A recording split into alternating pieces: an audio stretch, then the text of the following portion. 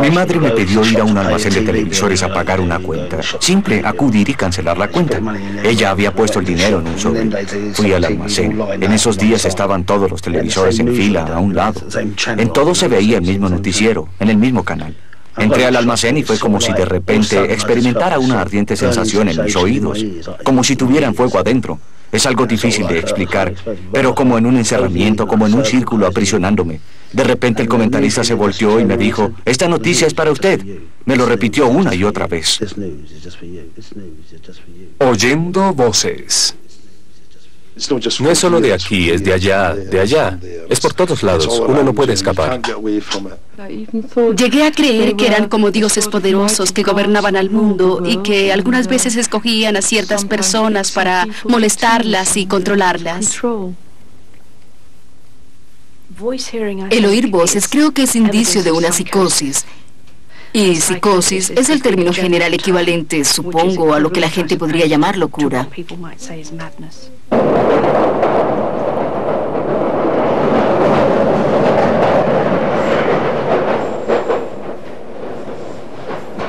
Me encontraba en el gimnasio del colegio. Allí hay unos lazos que cuelgan del cielo raso. Yo me sentía muy feliz. No estaba angustiado por nada. Entré al gimnasio y oí esta voz diciéndome, ahórcate.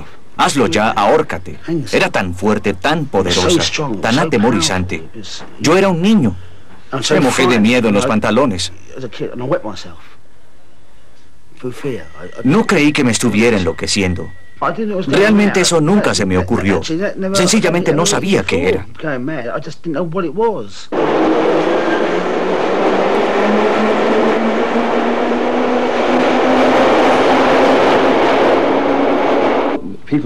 La gente oye voces por muy distintas razones, pero creo que la razón importante es que tienen una enfermedad mental. Eso es innegable y las voces son un síntoma, uno de los síntomas más dramáticos e interesantes. Es síntoma de un desorden orgánico y es una enfermedad y como tal requiere tratamiento.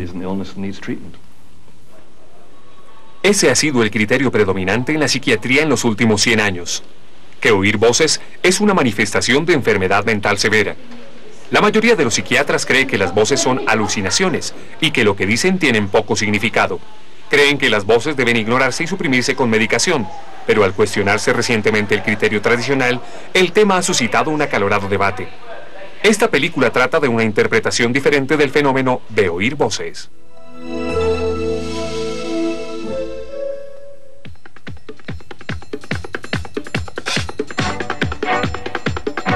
En 1987, un programa holandés televisado sería el comienzo de la historia de la nueva orientación sobre el tema de oír voces. En el programa se presentaron una joven mujer oyente de voces, Patsy Hay, y su psiquiatra, el profesor Marius Rom.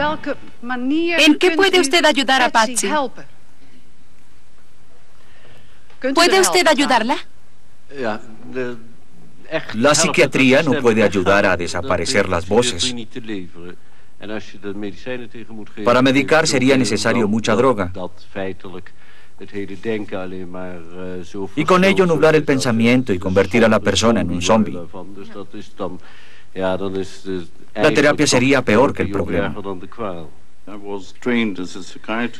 Fui entrenado como psiquiatra en la misma forma en que aún se hace. Y eso significa que oír voces es un defecto cerebral una perturbación dentro de la persona, relacionada generalmente con la enfermedad de la esquizofrenia. Aunque aprendimos que no era esta la única enfermedad, en la práctica casi no se encontraba a nadie que oyera voces a quien no se le hubiera diagnosticado una esquizofrenia. Así que la relación entre las dos la convierte en automática. Comencé a oír voces cuando tenía como ocho años y fue esa edad cuando sufrí quemaduras graves. Las consideraba como amigas porque eran muy afectuosas conmigo, me contaban cuentos, sostenían conversaciones conmigo, me protegían de las peleas, me acompañaban. Creía que era normal oír voces. El número de voces siempre ha sido el mismo. Había como 20 voces y había dos o tres voces importantes que hablaban todo el tiempo y las demás voces eran, bueno, se comportaban como un coro de fondo. Cuchicheaban.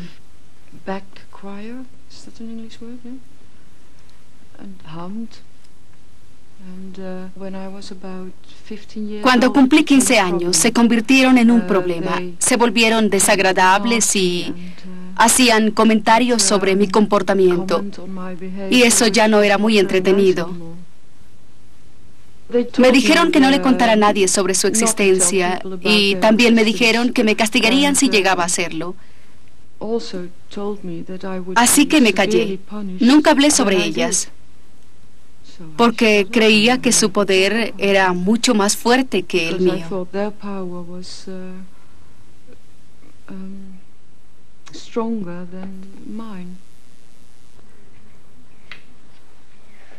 Cuando no se veía para Patsy alternativa diferente de internarla en una clínica mental, su madre la vinculó con Mario Rom. La relación con Patsy fue decisiva para que Ron cambiara su noción de que las voces que algunas personas oyen son una alucinación y deben ignorarse. Patsy me retó a creer que realmente oía voces. Y creo que el momento en que asumí este reto fue cuando me dijo,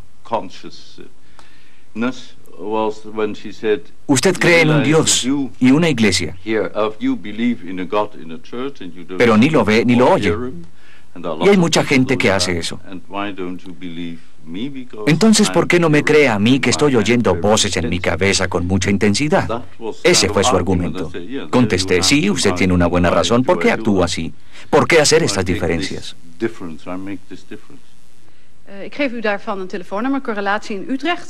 Casi 500 oyentes de voces llamaron a la estación después del programa y 35% de ellos no tenía historia psiquiátrica.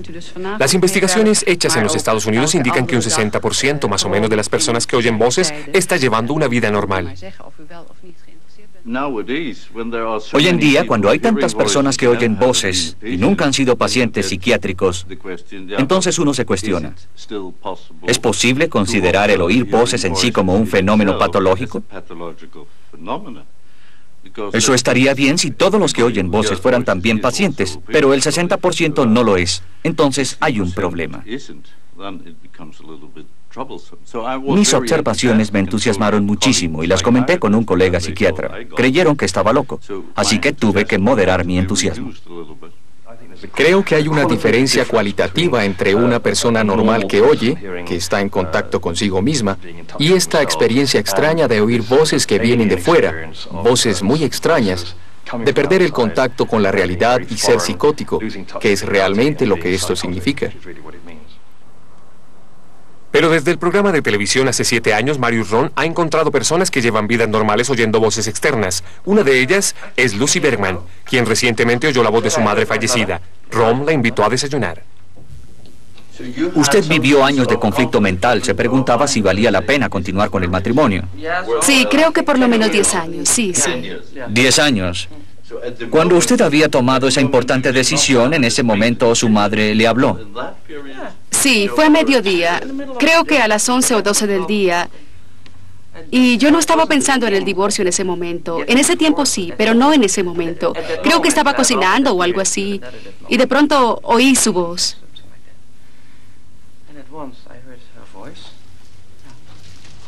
Lo dudó, no sabía si era ella. Sí, tuve la sensación de que había alguien detrás, supongo, alguien detrás de mí. ¿Ella habría estado a favor del divorcio? No, de ninguna manera. Si hubiera estado viva, hubiera pensado que era... que era algo terrible. Nunca hubiera estado de acuerdo. No, nunca. Esta vez era una madre un poco diferente. Era una madre diferente, sí. Serena, apacible, tolerante. Sí, Tenía tanto temor de que cuando yo le contara a alguien me dijera, se está enloqueciendo, tiene que buscar ayuda. La mayoría de la gente no entiende estas cosas. No. Yo no. Usted no. Yo no hablé con nadie sobre esto. ¿Y ahora que está divorciada todavía oye la voz de su madre o no? Me gusta oírla. ¿Le gusta? Entonces la invita. Sí, sí, esa es la palabra correcta. La invito de vez en cuando. ¿Estoy haciendo todo bien? ¿Qué piensas de esto? ¿Qué piensas de aquello? Y es parte de mi vida. Parece tener mucha importancia el hecho de que cuando comienzan las voces, según nos han contado personas que nunca han sido pacientes psiquiátricos, y también personas que sí lo han sido, existe un trauma o un punto de no regreso. Una situación en la vida en la que hay que elegir qué hacer. Y una vez tomada la decisión no se puede cambiar.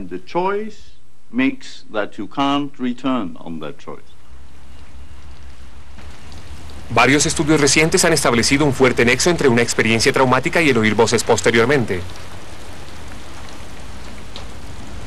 El abuso sexual es un trauma común relacionado con oír voces. Otro aún más común es un duelo. El último evento traumático de mi vida fue cuando mi compañera murió. Y aunque no se manifestó con voces durante mucho tiempo, fue el comienzo de un largo periodo de reconciliación con este evento. Las voces eran como si este hecho volviera a mi memoria y de una manera muy real. Porque una de las voces que yo oía era la de mi compañera.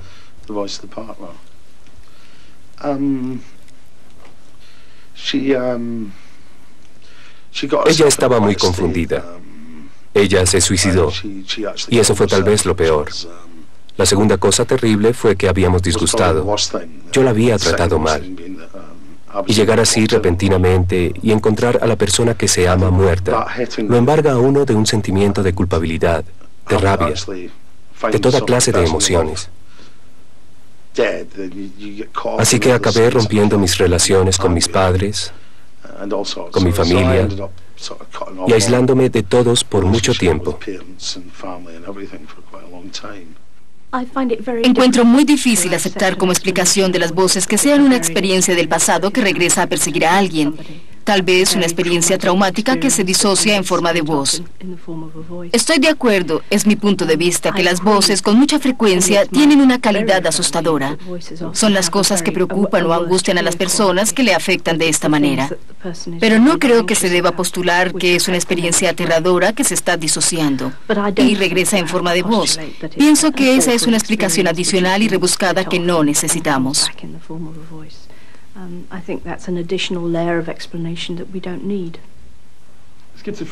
La esquizofrenia es causada por eventos y traumas de la vida, pero desata un proceso y creo que es, es el problema que el modelo psicológico no tiene en cuenta, que se inicia un proceso de enfermedad y que aún aliviando el trauma inicial, el paciente no mejora. Cuando me diagnosticaron por primera vez, me sentí aliviado. Porque había una razón para todo. Yo tenía una enfermedad, podía tratarse, y esto no me preocupaba. Pero más adelante, cuando uno comienza a darse cuenta de las implicaciones de ser llamado esquizofrénico,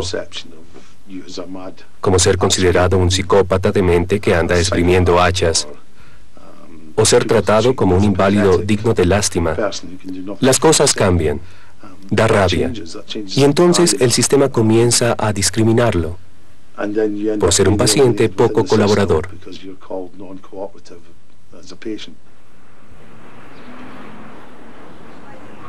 El primer encuentro de Alan Líder con el sistema de salud mental fue cuando siendo niño comenzó a oír voces continuamente. Su madre lo llevó a la consulta de un psiquiatra.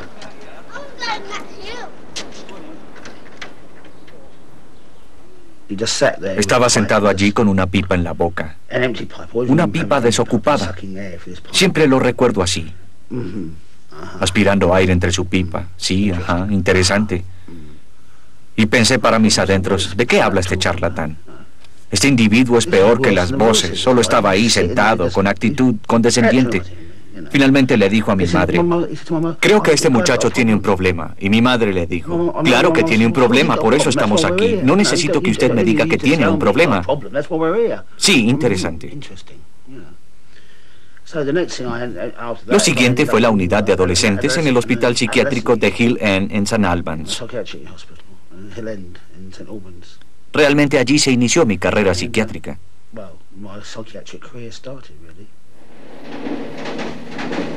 El diagnóstico convencional de las personas que oyen voces hecho por psiquiatras que recluyen a pacientes como Alan Lieder y Ron Coleman en hospitales mentales a veces por largos periodos, actualmente es cuestionado por algunos psiquiatras influenciados por la experiencia holandesa.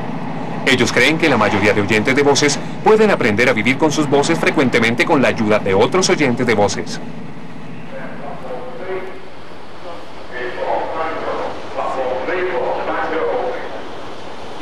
Ron Coleman fue invitado a Gales del Norte por Phil Thomas, un psiquiatra de esa comunidad para dirigir un taller para un grupo de profesionales de la salud mental y de oyentes de voces sobre el tema.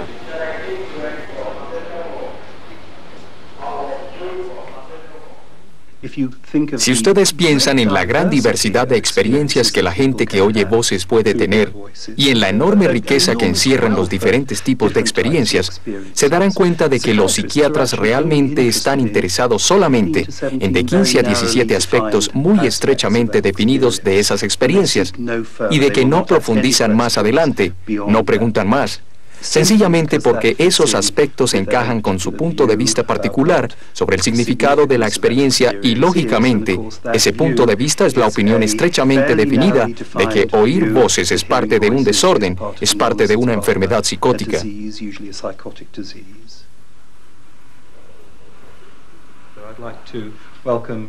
Quisiera dar la bienvenida a Ron Coleman de la red de oyentes de voces de Manchester, con quien hemos venido trabajando los últimos 12 meses y es esta una gran oportunidad para darle la bienvenida a Light, hoy para hablar del fenómeno de oír voces. Gracias Ron. Vamos a mostrarles lo que es la experiencia de oír voces. Nosotros, los oyentes de voces, no lo necesitamos porque sabemos cómo es, ¿verdad? Vamos a dividirnos en grupos de tres. Dos personas conversan y la tercera hace la voz. Se acerca al oído y comienza a decir cosas.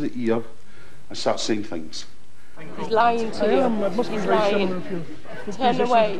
Look, look behind him. Would you know? You're wicked. You're going to do something wicked. What did you do when they were young? Yeah. She's not really any good, you know. Yeah. She's silly. Yeah. Yes, don't take any notice of her. Yeah. It's very difficult to It is very difficult. I think he's had enough.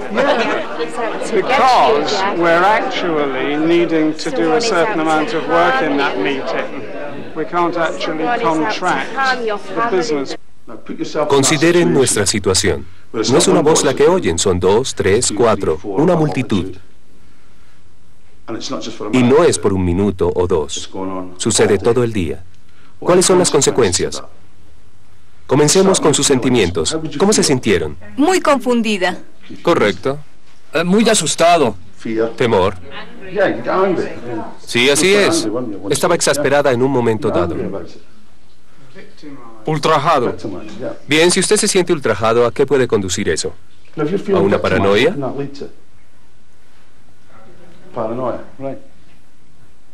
Uno cree que enloqueció, que está demente. Es la respuesta natural.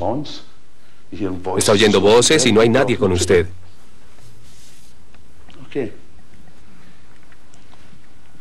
Así que tenemos confusión, temor,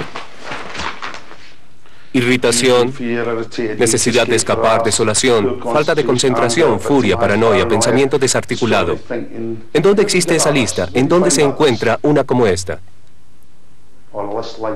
En una descripción de la esquizofrenia. Síntomas secundarios de esquizofrenia. Pero hablamos de consecuencias. No pueden ser ambos. No pueden ser síntomas y consecuencias. Tienen que ser unos u otros. Consecuencia o síntoma, gallina o huevo, hay un acalorado debate al respecto. ¿Puede la investigación del cerebro ayudarnos a entender qué está sucediendo en la mente? En el hospital Hammersmith, los científicos han diseñado experimentos con escanografías cerebrales para investigar qué puede estar pasando en los cerebros de las personas mientras oyen voces. Será un poco incómodo los primeros minutos.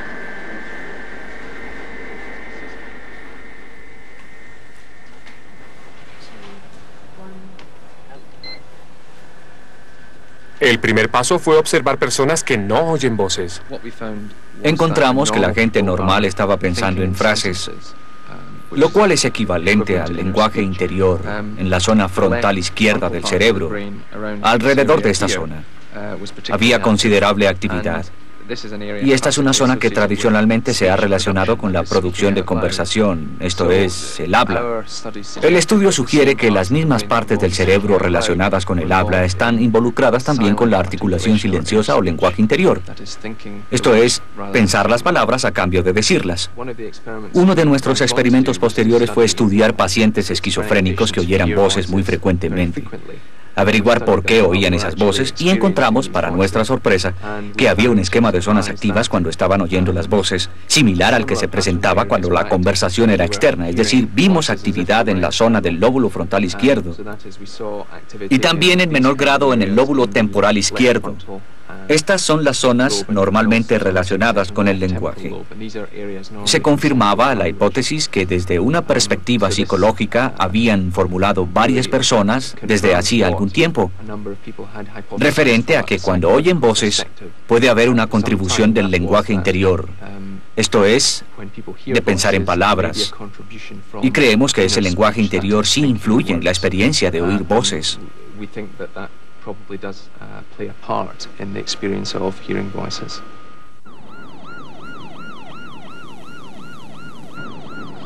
Hablar con nosotros mismos, en voz alta o silenciosamente, es parte de la experiencia humana. En la Universidad de Liverpool, Richard Bental, profesor de psicología clínica, asocia esto con el fenómeno de oír voces. Este proceso de hablar con nosotros mismos es algo que se desarrolla en la infancia. Cuando somos niños, aprendemos a decirnos lo que debemos hacer y luego a seguir esas instrucciones. En nuestra vida adulta hacemos lo mismo, pero silenciosamente, dentro de nuestras mentes. Lo que sucede cuando alguien oye voces es que está llevándose a cabo ese mismo diálogo, pero infortunadamente la persona que las oye está atribuyendo ese diálogo equivocadamente a una fuente externa. No se da cuenta que habla consigo misma, cree que viene de otra parte. Los psiquiatras tradicionales acostumbran a aconsejar ignorar esas experiencias, que no tienen significado alguno, y esto parece aumentar la ansiedad de los pacientes en relación con las voces. Creo que es muy importante cuando se está ayudando a personas que oyen voces, tratar de tranquilizarlas y apoyarlas y decirles durante el proceso que tienen una enfermedad, que estamos haciendo todo lo posible por mejorarlas y que trataremos de silenciar las voces.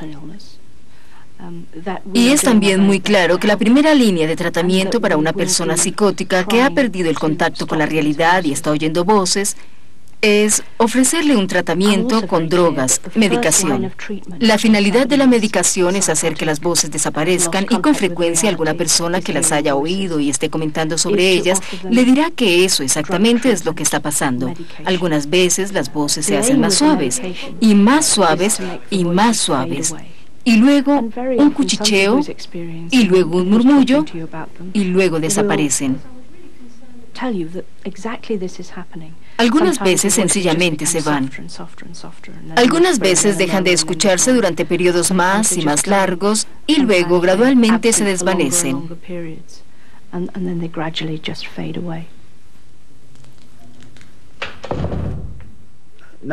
Ninguno de los medicamentos que yo he recibido ha afectado a las voces. Yo les dije eso y me contestaron, déles tiempo. ¿Cuánto tiempo se les da? ¿20 años? El tiempo nunca ha afectado a las voces y yo se los he dicho. Me enfermó la medicación, realmente me enfermó físicamente. Desperté una mañana y pensé claramente, ya tuve suficiente. Las voces siguen ahí, con medicamentos o sin ellos. Voy a dejar de sentir lástima, de ser una víctima, y comenzaré a hacer algo para ayudarme. Creo que fue cuando cambié. Ese fue el día que dejé de tomar medicinas. Dije no más, y no volví a tomarlas desde entonces. De eso hace ya más de un año, como 18 meses.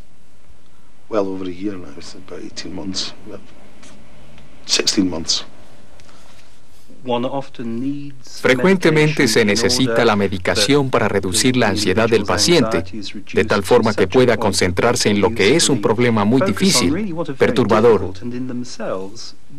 Creo, por lo tanto, que la medicación tiene un papel importante en este proceso, pero tiene que verse en su verdadero contexto. No puede ser la única cosa que se ofrece al paciente.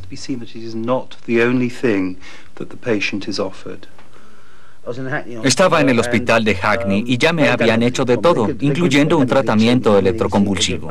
Me dieron molicuri de Pixol, una combinación de medicinas. Una nueva enfermera, no sé quién era, creo que terapista, acababa de empezar y estaba interesada en el tema. Dirigía un grupo. Ella ofreció verme y al principio estaba muy reservado, no quería hablar con ella. Los dos estábamos sentados, esperando que la conversación terminara. Con actitud de háblame que yo no lo haré, porque sabía que si le hablaba me buscaría más problemas. Yo le contesté, pues que oigo voces, y ella dijo, nunca lo olvidaré. ¿Y qué? ¿Qué tiene eso de raro? Me enfadé mucho con ella. ¿Qué quiere decir con ¿y qué? Le dije, soy esquizofrénico. Usted tiene que cuidarme. Ella me contestó, ¿por qué? ¿No puede cuidarse solo? Eso lo desencadenó. Me puso a pensar cómo podría salir adelante con mi problema.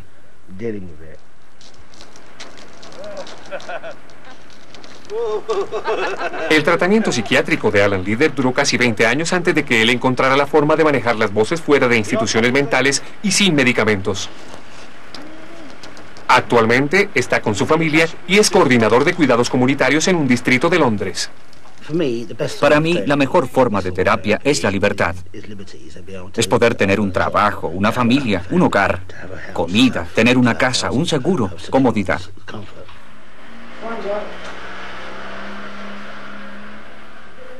Cuando estaba en el hospital trataba de concentrarme. Hay una teoría sobre la concentración.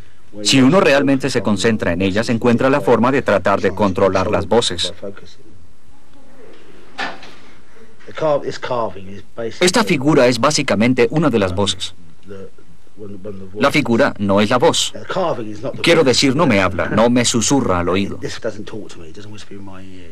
No tengo visiones de que se levante en la noche y deambule susurrándome. Es una forma de poderme concentrar, de visualizar lo que siento por la voz, lo que la voz significa para mí. El individuo está agazapado, sosteniéndose, pensando. Es como muy pensativo, muy poderoso. Y lo que hago con él es a veces esconderlo. Algunas veces lo miro, otras le hablo.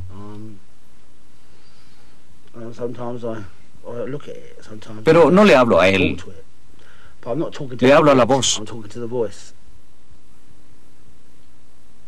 Alan Leader también ha dibujado representaciones de sus voces como forma de concentrarse en ellas. Otra forma de concentración es ponerle atención a cada aspecto de las voces. Es un enfoque que ha sido desarrollado por Richard Bentel. Pedimos a las personas que escuchen aspectos de las voces que no sean particularmente desafiantes. Por ejemplo, el tono de la voz, de dónde parece venir, qué tan fuerte es. Es decir, las características físicas. Después que se acostumbran a hacer esto por periodos cortos de tiempo, primero en las sesiones de terapia y después como tarea, pasamos a que ellos escuchen el contenido de las voces, a que empiecen a pensar en qué forma esto refleja cosas que les hayan sucedido en el pasado, o considerarlo información importante que puedan utilizar.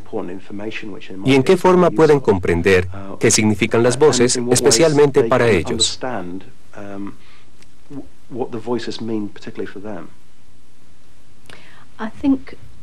Creo que las voces son evidencia de una disfusión cerebral, sean las llamadas voces buenas o las llamadas voces malas. Y siempre retaría a esa realidad alternativa y trataría de volver a la persona a la normalidad. Creo que la principal razón por la cual lo haría si las voces son buenas y reconfortantes es porque en mi experiencia no siempre se mantienen así. Y creo que si se le permite a la persona sentir que esta es la realidad para ella y luego las voces se tornan amenazadoras, puede estar mucho más atemorizada y necesitar mucha más ayuda más adelante. Oír las voces de las personas no es confabularse con algún tipo de sistema alucinatorio que ellas puedan tener. Cuando los pacientes caen en cuenta que las voces están relacionadas con experiencias de su vida, muchas veces pueden soportarlas mejor, o aún, en algunos casos, entender que son su propia voz interior que les habla. Y esto es positivo. Cualquiera de esos caminos de progreso es valioso, así que no puedo comprender por qué alguien podría creer que poner atención al contenido de esas voces es algo peligroso.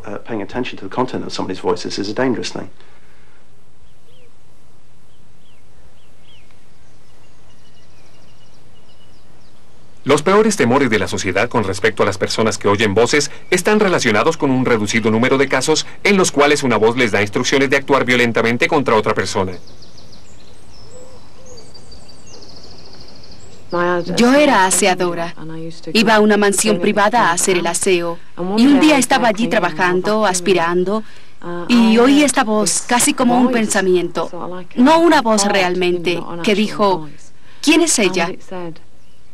Y un momento después me empezó a hablar nuevamente y dijo, no sabes quién eres, ¿verdad? En ese momento pensaba en el líquido para limpiar muebles, en cuál habitación iba a arreglar después, y la voz no cabía dentro de mi esquema mental. Puedo recordar que pensé, ¿qué es esto? ¿Qué me está pasando? En este tiempo yo estaba totalmente abatida y confundida. Tenía problemas en mi vida. Problemas con mis hijos mayores, problemas con mi marido. Tenía sentimientos de furia contra mi vecina, sentimientos reprimidos. Yo trataba de ser buena vecina y no sabía el por qué esta ira. Sencillamente estaba en mí hacia ella. Desde hacía algunos meses habían estado pasando cosas como que su perro permanecía en mi jardín y yo tenía niños pequeños y me preocupaba que les pasara algo. Las voces me decían, tú sabes cómo es ella. Si no haces nada, tus hijos se enfermarán con las porquerías que deja el perro por todo el jardín y cosas por el estilo. Y me hicieron sentir que no estaba actuando bien como mamá y aparecían constantemente una y otra vez durante las 24 horas del día. No dormía. Al día siguiente otra vez estaban allí y finalmente a la madrugada fui y empecé a destrozar los vidrios. Grité insultos. Fui muy violenta. Esa realmente no era yo como que no tenía control sobre mí misma. Y de pronto tuve conciencia de que, Dios mío, ¿qué he hecho?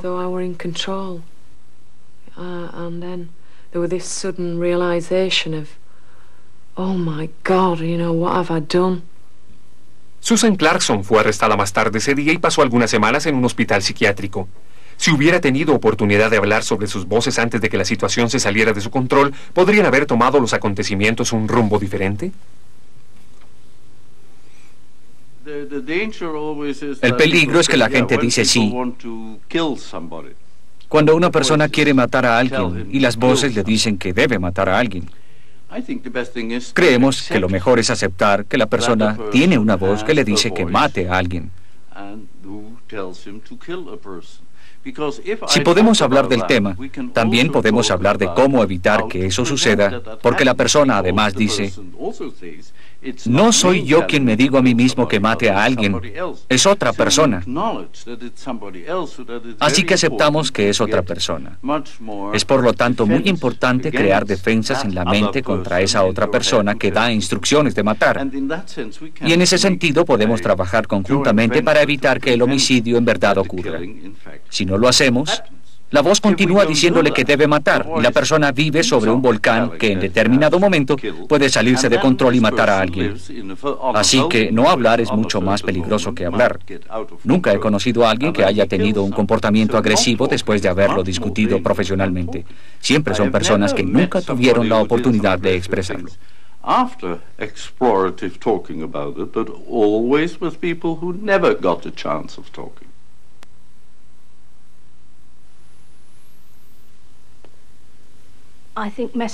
Creo que los mensajes que reciben cuando las personas están gravemente enfermas y reciben mensajes de que deben hacerle daño a otra persona o matar a otra persona, esto es muy delicado. No creo que sea bueno confiar en la intervención psicológica. Yo estaría muy preocupada tratando de convencer a alguien de no hacerlo, explorando sus voces, porque creo que la realidad alternativa es otra. No estamos ahí con la persona. No sabemos qué la afecta a cada minuto. Y aunque uno pueda persuadirla de que en realidad no es necesario que mate a su madre, si está a solas con su madre, entonces existe el peligro de que la realidad alternativa regrese um, con plena fuerza y que las palabras de consejo y explicación se esfumen. Pienso que en realidad es un campo muy delicado.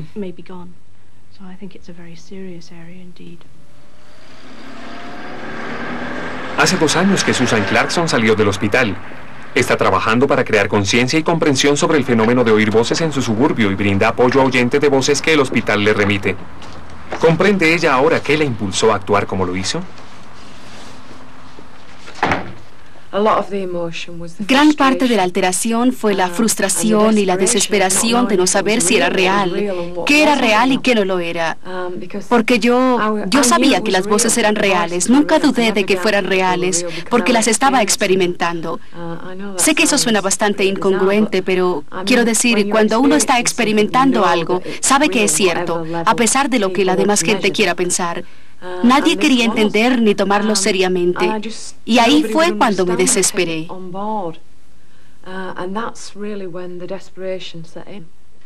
Si me encuentro ante un paciente que dice, y me ha ocurrido, que una voz, por ejemplo, le está indicando que asalte o que ataque o aún que mate a alguien, entonces le presto atención y puedo estimular al paciente a que le preste atención a la voz sin alentarlo a que haga lo que la voz le dice.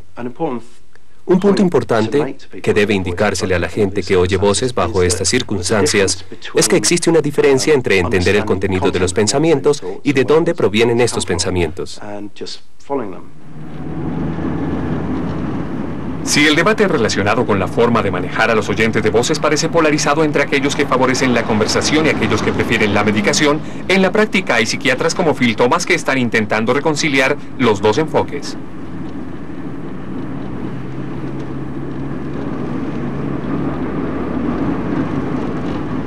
Phil Thomas ha estado llevando a la práctica algunas de las ideas de Richard Benthal relacionadas con la concentración por medio de sesiones de terapia, con una paciente llamada Peg. Los problemas de Peg parecen surgir de sus sentimientos con respecto a tener que cuidar a sus ancianos padres. Cuando las voces realmente comenzaron a causarle mucha angustia, ¿qué pasó? ¿Qué forma tomaron las voces en ese momento? Me indicaron qué debería hacer en la situación, cómo manejarla. Pero mi manera de manejarla realmente no era aceptable para la sociedad. Hubo un episodio en el cual usted estaba en el auto con su padre y sintió que algo extraño sucedía con sus pensamientos. Sí, así fue. Las cosas se salieron de control y vi un árbol y pensé, ¿me estrellaré contra el árbol? Tengo que salir de él. Correcto. No sé cómo no me estrellé. ¿Cómo ve el proceso que la llevó a que no pudiera manejar las voces?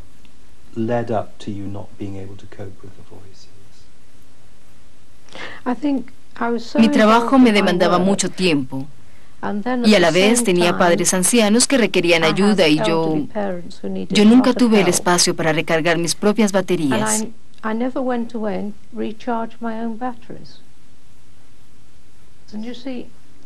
Estaba contenta con mis voces. Y cuando me decían que hiciera algo, no veía nada malo con lo que me indicaban. Era la demás gente la que se daba cuenta de que estaba mal, pero para mí era la respuesta. ¿Cuál es su explicación de las voces? ¿Cómo puede entender ese fenómeno? Creo que estaba fuera de control. porque cuando estaba en mis sentidos no las oía. Pero en ese momento las voces me tenían totalmente convencida.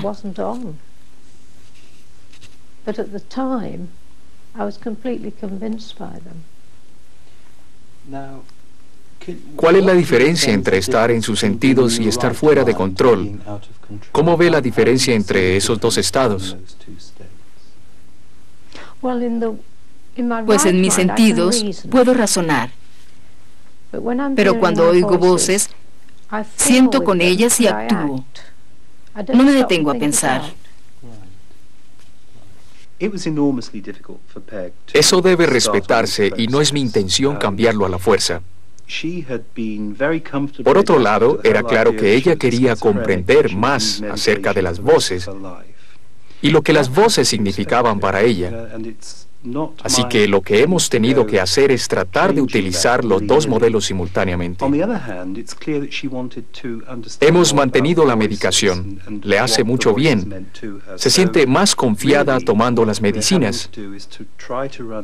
Es importante porque significa que le es posible comenzar a explorar el significado emocional y psicológico de las voces, que es lo que tratamos de hacer.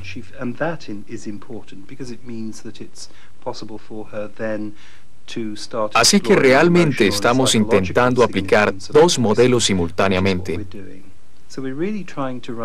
Aspiro a que en un tiempo uno de los modelos, el psicológico, suplantará al modelo médico.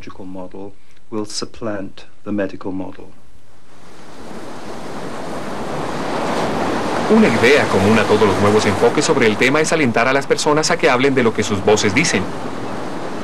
Formar grupos de oyentes de voces puede ser el primer paso. La visita de Ron Goldman a Gales del Norte ha ayudado a los oyentes de voces a formar su propio grupo para compartir sus experiencias. Solo oigo estas voces en mi apartamento. Son chinas y no creo que estén en mi cabeza, aunque todos los demás sí lo piensen.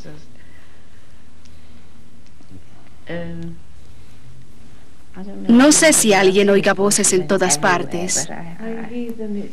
Yo las oigo en ciertos sitios, pero no en otros. Sucede en donde estoy ahora.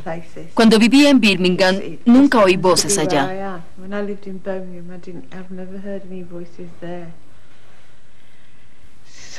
Algunas veces me puedo reír y hacer bromas sobre el tema, pero otras veces si lo afecta a uno, lo deprime.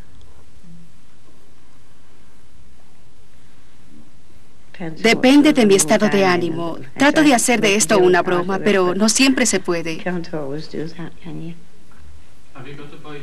¿Usted oye voces todo el tiempo o vienen y van? Sí, pero les digo que me dejen tranquilo hasta que esté dispuesto a conversar con ellas. Lo cual tiendo a hacer durante una hora más o menos en las noches. Yo oigo estas voces. Y si enciendo la radio o la televisión, como que la voz se ahoga, pero entonces tiende a hacerse más fuerte, como si se hubiera subido el volumen. Y trato de convencerme de que no están en mi mente, sino de que alguien lo hace. Sí. Esto me enfurece. No se puede uno deshacer de ellas. Y cuando me acuesto, están ahí. Y es lo primero que oigo en las mañanas. Y luego... ¿Se puso agresivo cuando trató de explicarle esto a alguien?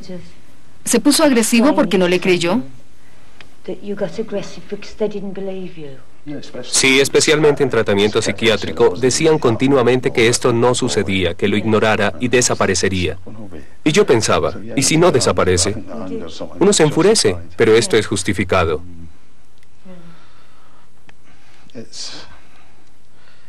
Negar la experiencia de alguien puede crear furia. Me parece que el principal mensaje que los oyentes de voces, la red de oyentes de voces, está expresando es, estas son nuestras experiencias, trátenlas con respeto. Y lo que nosotros tenemos que hacer es decirles a las personas que oyen voces, son ustedes, son sus experiencias, veamos qué sentido pueden ustedes sacar de ellas con nuestra ayuda.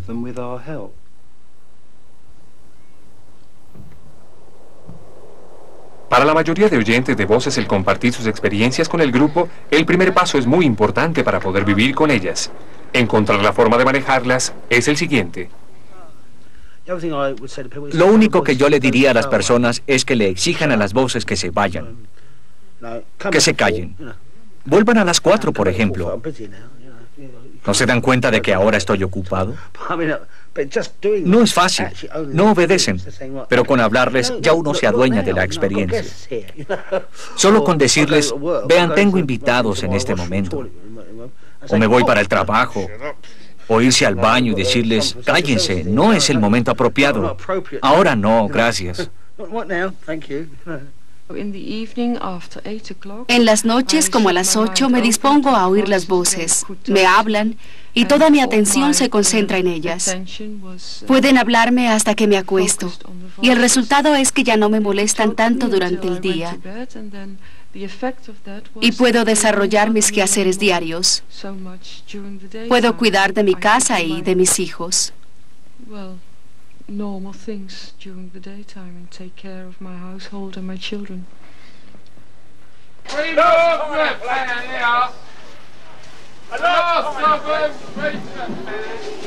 Aunque el debate sobre las causas del fenómeno de oír voces parece en esta etapa indescifrable, no hay duda de que muchas personas que oyen voces han logrado encontrar formas de vivir con ellas.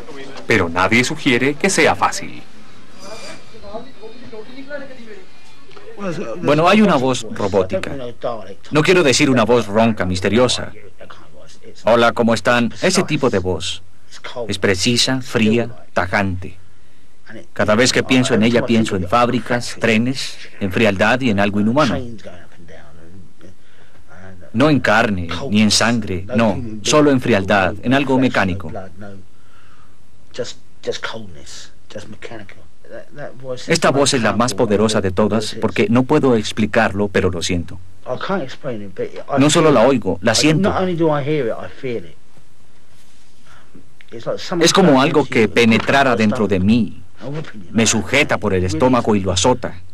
Realmente se siente uno mal. Es aterradora.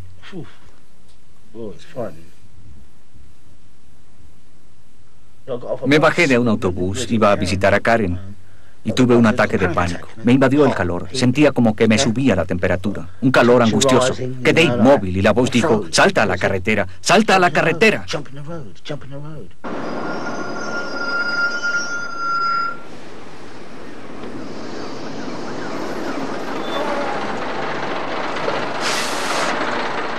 Esa es la voz más aterradora de todas. Con las otras tengo como cierta afinidad. Es decir, he establecido una especie de amistad con ellas.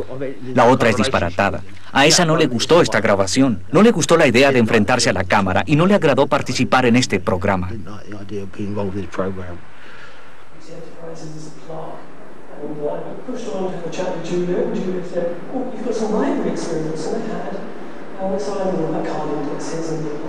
So they said, come along, and stuck them in a room for three weeks and underwent tapes.